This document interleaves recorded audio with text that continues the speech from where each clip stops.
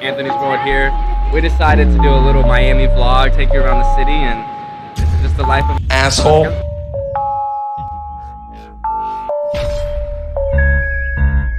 Please show me that you're doing more. Please show me that you're making more money. Please show me that you're living better. Please show me that you have a bigger house. Please show me that you have better cars. Please show me that you have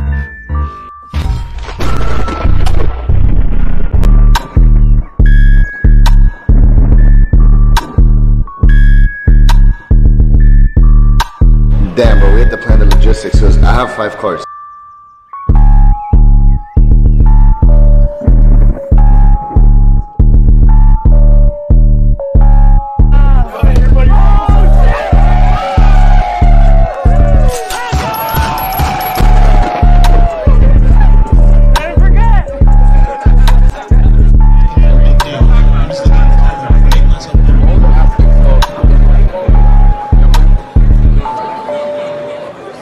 Trading routine now? What's a day in the life of Cue Banks now? I mean, now now now it's a bit different now. Um, I'm not as hungry as I used to be. when it comes to like my in-person classes, like how I used to do like my seminars and that kind of stuff all, all around the entire world. Um, I stopped doing those of last year when COVID actually hit. I was like, yeah, Fuck that. I'm about to retire too. then. yeah, Right, that's yeah, that, yeah. I don't want to be around anybody anyways. Can you tell us a little bit about your, your slogan, Forever In Profit? Yeah, so Forever In Profit pretty much is it's a brand and it's a lifestyle. And it's a lifestyle. That much because I could fucking make that money inside the market and not and not have to spend forty hours teaching a person. Yeah. Right. You know So saying? that was a Like, fucking I lie. value like my time more than anything else. Yep. Mm-hmm. And I I'd rather not teach and pretty much focus on on my craft and get better at that. So that was a fucking lie. so much time because like the reason a- as to why I retired in the first place was, bro, I did like let's say 56 classes in a couple years, 50 hours a week.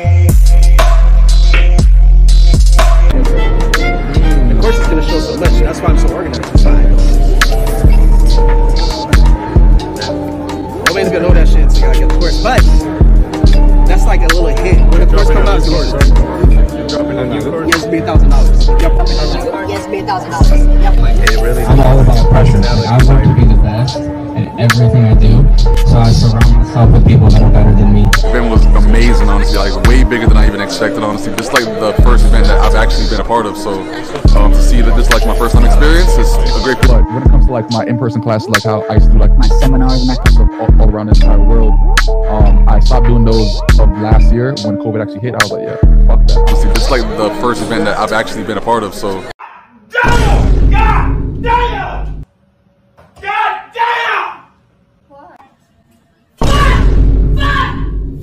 when they when they showed that that uh, Quillen Black was going to be working for them, I think they were giving him a happy birthday message.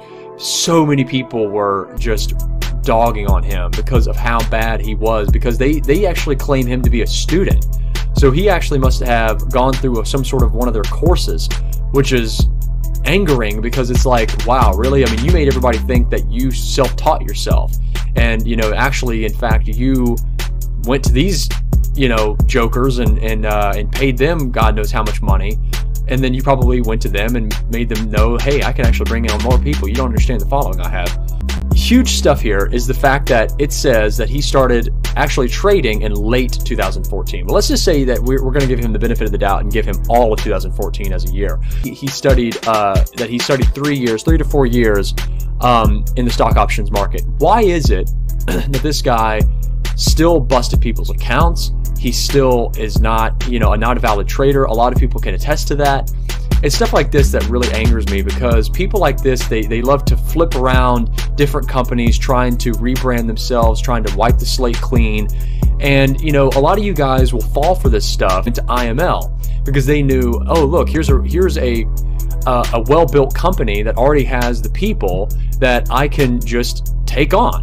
And that's exactly what happened. Another person actually last night sent me um, a huge post that it had about 300 comments on Facebook talking about this guy, and he got he got involved. But talking about just how bad of a trader he was and how many, you know, how these accounts were busted, how he never would post a Myfxbook link. That's another thing is these guys will not post a Myfxbook link. That, use the same hustle. They all use the same grind, canvases in their backgrounds. I mean, they they literally just must have a forex gurus for idiots seminar that they put on, and all these fuckers just line up and pay whatever price because they know that there's way more money for them selling courses than there are in actually trading the markets because they suck. They don't know what they're doing.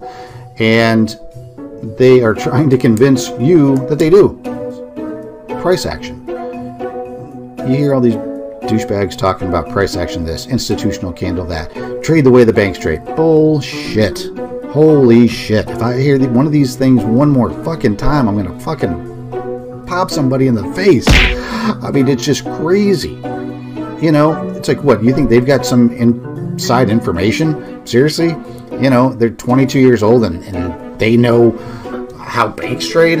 Fuck, they don't even know how banks work, much less how they trade. Is life changing. You feel what I'm saying? I feel like everybody should be tuning into this type of information because it's actually evolutionizing the space of. The thing that I would do is I would um, wake up and like look where the price was, and then when I went to bed, where it was price again. And then on the weekends, I'd go back and say, okay, so price was here, but then it was here, but then Tuesday was here, and then it was here, and then learning those guys. What the fuck? So, you know, like I would write down like the times of like go back and look and you can see how much did it move, how much did it retrace every day. And On the zone, there's a lot of opportunity in between. Yeah. so uh, zone to zone works for a little while, uh, but where's your entry, right? So like you understand when you get to the zone that there's an opportunity, but you don't necessarily know where to enter, right? You just get excited, you get the emotional states. So usually there's the fuck you candle that gets people one way or the other. And if you were on the opposite side of it, you often miss out on the true motion, right? On a reversal being like, oh, it's about to reverse right now, and then the market keep going in the opposite direction. I, I know I remember you saying you, you want to see momentum slowing down or you want to see a um, big wick rejection from when it comes to retest. Is there anything else or this mainly about the only two things that you want That's to the go main for? two, but you gotta have the confluences as to why you you have to have the confluence. So everybody marks up their chart on Sunday. You know the way. I- Yo, the information is life changing. You feel what I'm saying? I feel like every. You already know what you want to happen. Yeah. Now you need the confirmation for whatever it is that you want. So Besides these things right here, candlestick analysis, market structure, learning how to scale one big trade, and um, fully understanding the price action. Yep. Is there anything else? Like I'm pretty sure you learned a lot more since that video came out. Is there anything else? It's, it's definitely a lot more. Um, major market patterns, um, understanding price action. Um, what else? What else?